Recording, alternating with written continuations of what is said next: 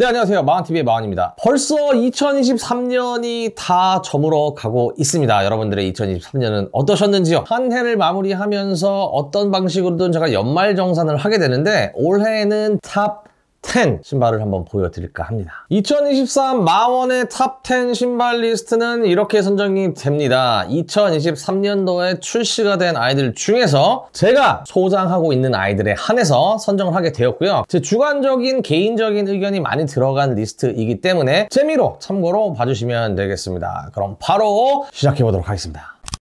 넘버 10 에어 조던 8 그리고 SoleFly의 콜라보 제품이 되겠습니다. 올해가 조던 8 발매 30주년이 되는 해여서 복각이 자주 되지 않는 플레이오프도 출시가 되었죠. 사실은 그 아이가 top 10 랭킹에 들어올 만한 아이인데 제가 구매 실패를 했고요. 이 아이 같은 경우에 새로운 colorway와 새로운 콜라보레이션이지만 굉장히 산뜻하고 예쁜 기존의 조던 8의 패턴과 모양을 유지를 하고 있음에도 불구하고 디테일적인 요소에서는 또 차별화를 해준 다른 소재가 사용이 된 그러한 조던 8 제품이고요. sail 색상으로 굉장히 깔끔하게 떨어져서 코 코디하기도 굉장히 쉬운 신발이지 않을까라는 생각이 듭니다. 제가 아직 상세 리뷰를 하지 못했습니다. 조만간 상세 리뷰해서 또 영상 올려드릴 테니까 참고해서 보시면 되겠고요. 넘버 9! 어쩌면 다시 볼 수 없어질지도 모르는 아마마니에르 이 아마마니에르가 굉장히 최근까지 핫했던 브랜드이고요. 나이키와 콜라보레이션도 많이 했고 특히나 조던과 콜라보레이션 시리즈가 1,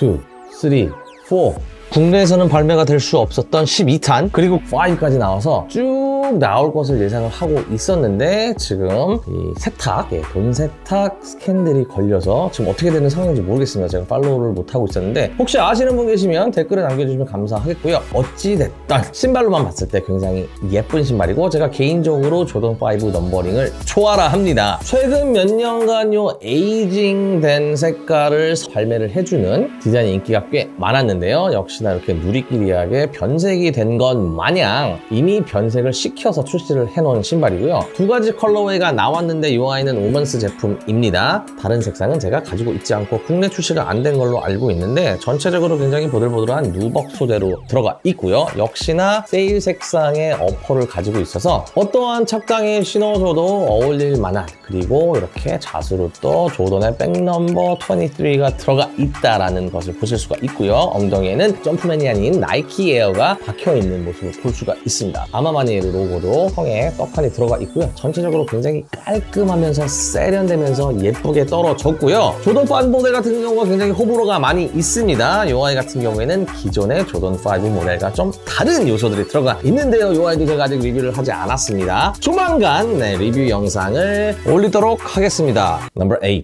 조던 1 low OG black toe 모델이 되겠습니다. 굉장히 기대를 많이 했던 아이고요. 굉장히 예쁜 아이입니다만 조던 one의 hype이 완전히 죽어버렸기 때문에 현재는 정가 이하로도 구입을 할 수 있는 아이가 되겠습니다만 예쁜 건 예쁜 겁니다. 인기가 있던 없던 굉장히 예쁜 아이고 아직 개시를 하지 못했지만 내년 봄, 여름쯤에 반바지에 신어주면 굉장히 예쁘지 않을까라는 생각이 드는 아이이고요. 굉장히 좋은 가죽 퀄리티로 나왔다. 넘버 7 기본템이라고 볼 수 있겠죠. 990 V6 입니다. gray 색상이 되겠고요. 굉장히 편안한 착화감과 높은 굽 그리고 무난한 색상을 가지고 있는 아이가 되겠고요. 몸값은 정가 이하에 현재 책정이 되어 있고요. 저도 정가 이하로 구매를 한 아이입니다. 아직 실착 전이기 때문에 다소 낮은 랭킹을 준 아이이지만 조만간 상세 리뷰를 해드리도록 하겠습니다. 넘버 6! 6위는 아식스의 젤카야노 14. 이 특정 모델은 언더마이카 아트모스 아식스 3자 콜라보 제품이 되겠는데요. 제가 최근에 리뷰를 해드렸는데 실질적으로 제가 이 특정적인 모델이 굳이 6위라는 것보다는 젤카야노 14가 선방을 해줬고요. 아직까지도 선방을 해주고 있습니다. 희소성에 있어서는 좀 다소 떨어지는 부분이 없잖아 있어요. 굉장히 많은 또 칼로리를 하면서 다양한 색상의 제품이 나와서 특정적인 콜라보 제품을 제외하고는 무난하게 정가 언저리 브랜드에서 구입을 할 수 있는 제품이라서 진입장벽이 낮고 굉장히 편안하고 굉장히 예쁜 기본템으로 신어줄 수 있는 신발이지 않을까 싶어서 6위에 랭크를 한번 해보았습니다. Number 5 줌보메로 5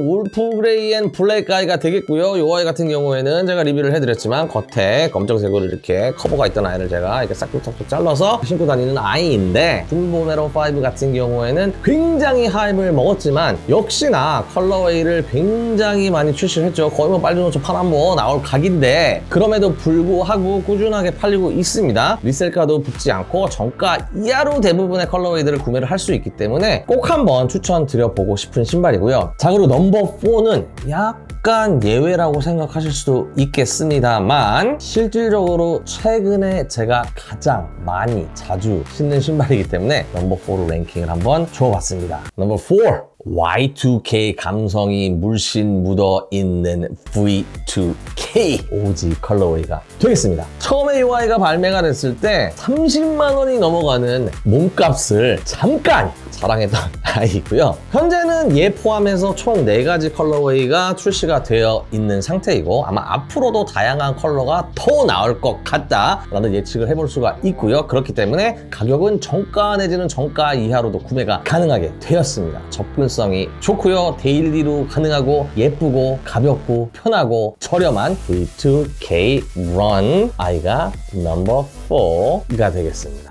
number 3. number 3는 SB 덩크 아니고요. SB 조던 4 green 아이가 되겠습니다. 정말 잘 나온 신발이라고들 다들 얘기를 하죠. 일단 조던 4 같은 경우에는 이 발볼 트러블이 있습니다. 저도 조던 4를 여러 아이들을 신어봤는데 대부분 새끼 발가락이 죽어나가는 결함을 갖고 있는데 이 SB 조던 4 같은 경우에는 착화감이 굉장히 좋고요. 사이즈감도 좋습니다. 물론 반업을 하긴 했으나 다른 아이들은 반업을 해도 발볼의 타이트함을 피해갈 수는 없었는데 이 아이 같은 경우에는 여러 가지 기능적인 면이 보완이 됐고요. 색상도 깔끔하게 흰색 베이스에 green 포인트가 들어간 아이이면서 기존에 볼 수 없었던 SB와 조던 라인의 콜라보가 되었고요. 앞으로 다른 colorway도 나올 수 있지 않을까라는 예측을 한번 해볼 수 있겠습니다. 너무 평이 좋은 아이입니다. 하지만 이런 아이들의 발이 길들여지면 조던 아이들을 신었을 경우에는 굉장히 좀 불편한 느낌이 좀 드는 건 사실입니다. number 2 티파니 에어포스 1 티파니 silver가 엉덩이에 떡 박혀 있고요. 검정색 고급진 nubuck 소재 어퍼에 티파니 민트색으로 swoosh 포인트가 들어간 기본적으로는 검정색 우동끈이 장착이 되어 나오는데 저는 이 끈을 민트 색상으로 교체를 해줬고요. 네, 딸려 나오는 extra lace가 되겠습니다. 남들에게 보여줄 일은 별로 없겠지만 바닥에도 이렇게 티파니 green 색상이 포인트로 들어가 있고요. logo play가 이렇게 tongue tag에 달려 나왔다. 일부 이 신발을 보고 너무 단촐하다. 단촐한 데 비해서 너무 비싸다라고 말씀을 주시는 분들도 계신데 저는 이 신발 같은 경우에는 심플하면서 이 고급진 디자인을 목표로 하지 않았을까. 하지만 가격이 너무 좀 비싸고 호불호가 갈릴 수 있다는 제품인 거는 인지를 하고 있고요. 그렇기 때문에 제가 number one은 어, 드리지 못했는데 사실 number one도 예, 호불호가 갈릴 수 있는 제 개인적인 취향을 듬뿍 담아서 선정을 했습니다. number one 한번 보시겠습니다. number one 코비 6 Protro Reverse 농구화입니다 네네네네네.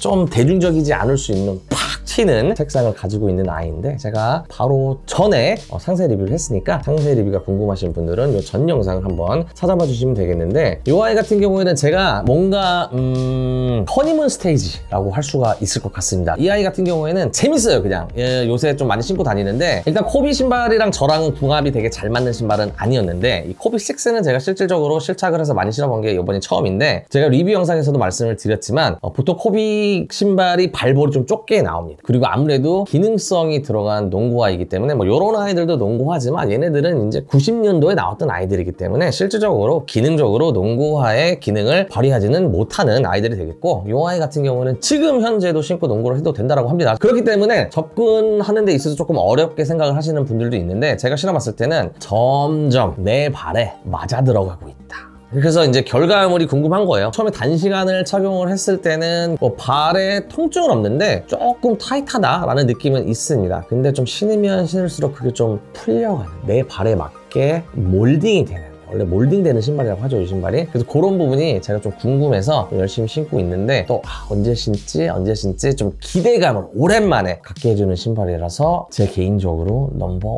원. 네, 여러분들 얼마 남지 않은 2023년 마무리 잘 하시고요. 2024년에는 여러분들이 뜻하던 바 목표점에 조금 더 가까이 도달하시거나 이뤄내시길 진심으로 기원하면서 오늘 영상은 여기까지 하고 마무리하도록 하겠고요. 내년에 또 찾아뵐 수 있도록 하겠습니다. 새해 복 많이 받으십시오.